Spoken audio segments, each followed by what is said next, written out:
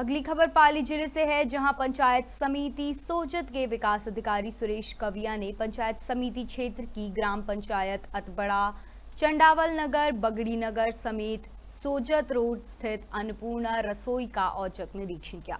निरीक्षण के दौरान विकास अधिकारी सुरेश कविया ने अन्नपूर्णा रसोई के विभागीय गाइडलाइन अनुसार संचालन संबंधी निर्देश दिए।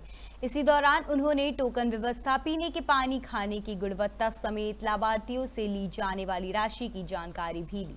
इसके साथ ही उन्होंने ग्राम पंचायत बगड़ी नगर में अन्नपूर्णा रसोई में खाना ले रहे लोगों से चर्चा कर उनको मिल रही सुविधा के बारे में भी जानकारी ली। पाली से जुगल किशोर बावल की रिपोर्ट।